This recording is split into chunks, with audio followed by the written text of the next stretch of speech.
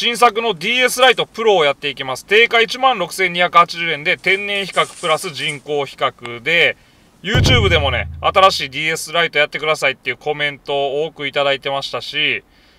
インスタでもね、まあまあ DM いただいてたんで、やっていきます。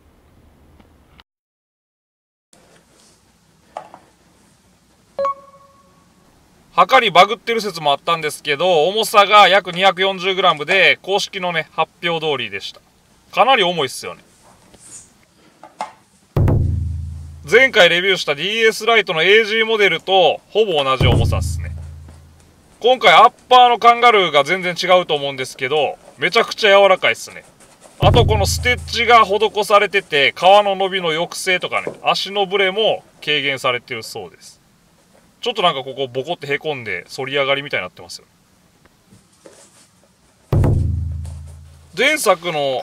アッパー部分もカンガルーですけど結構謎な形しててこの前足部と中足部のつなぎ目がちょっと硬くて痛かったんですけど今回もねそのままのようですね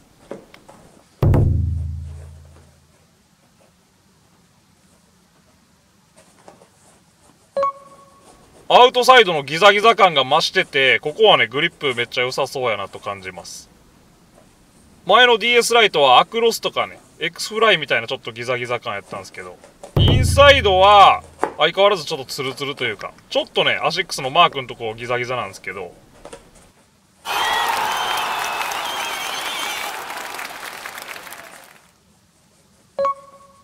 かかともちょっとギザギザ感増してて、このブーメランみたいなね、デザインが入ってます。この銀色のラメみたいなやつはちょっと賛否ありそうな感じです。このシンプルなデザインの方がええかもしれないですね。かかとは少し細くなって高くなってるんかなと。まあ誤差ですけど。で、この DS ライトの履き口のしっとり感っていうのは、全スパイクの中でね、僕は上位に感じてて、めちゃめちゃ気持ちいいんですよ。新品やからかもしれないですけど、なんかさらにしっとりしてるような気もします。めちゃくちゃ柔らかいです。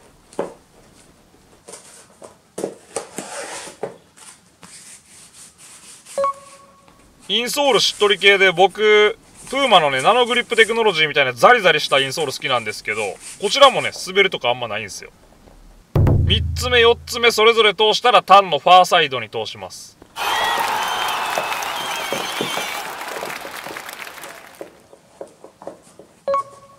でこのタンも映像では伝わりにくいんですけど薄いですけどめっちゃ柔らかくてフィットしてくれそうですねで今回もかかと部分にフューズゲルを搭載して着地時のね衝撃を和らげてくれるとこれは前回でも感じたんで、今回もめっちゃ楽しみですね。で、めちゃめちゃ頑丈そうですけど、ポイントにはね、削れにくい対摩耗ウレタンを使用ということで。このゲルのとこはね、なんかちょっとだけ柔らかい感じがあります。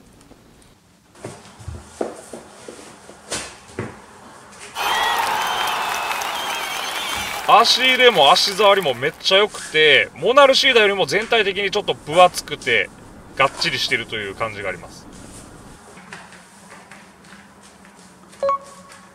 3つの幅で展開されてるんですけど 2E でお下げで中足部がね結構余裕あるなと。カンガルーの柔らかさバチバチ感じるのと履き口はやっぱりしっとり柔らかくて気持ちいいですね。これも靴ずれとかは少ないんちゃうかなと。思います。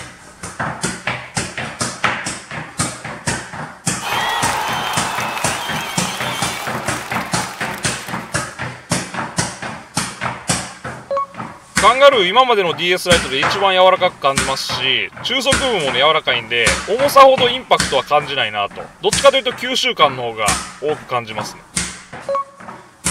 前足部中足部かかとって向かっていくにつれてどんどん広くなっていくイメージで多分重さは大部分がポイントが占めてると思います。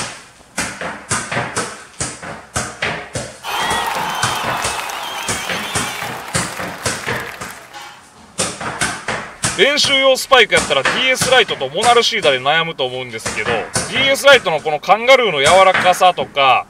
全体的にがっちりした感じとかね唯一無二な感じあるんで多分 DS ライトハマる人はハマるんやろうなと思います。僕は今んとこモナルシード派なんですけどまたね蹴ったレビューも見てみてください。チャンネル登録コメントありがとうございます。